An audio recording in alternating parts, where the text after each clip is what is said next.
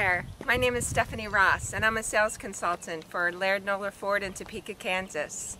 And today I wanted to introduce you to the new 2018 EcoSport.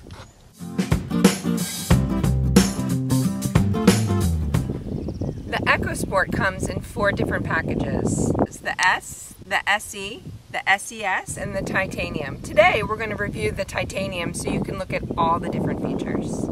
This particular model is colored with the smoke metallic. The EcoSport may be compact, but it's big on safety. We have the optional four-wheel drive.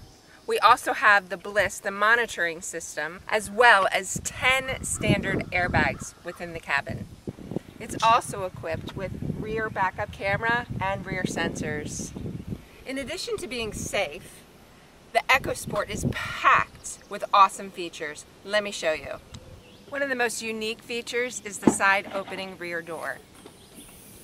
Check this out. And one of the reasons it's so convenient is you could put your kayak up here, your surfboard, or your skis. The cargo area is equipped with an easy shelf that is adjustable, a cargo cover for shading, and plenty of space and if that's not quite enough cargo space for you, watch how easy we can make some more.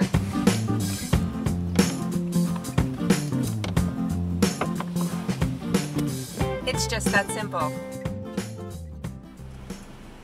And the features don't stop once you move to the front of the vehicle.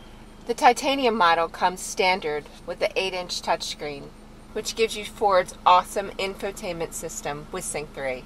Here you get Ford's climate control, which they've made it very easy, as well as heated seats and a heated steering wheel in this model.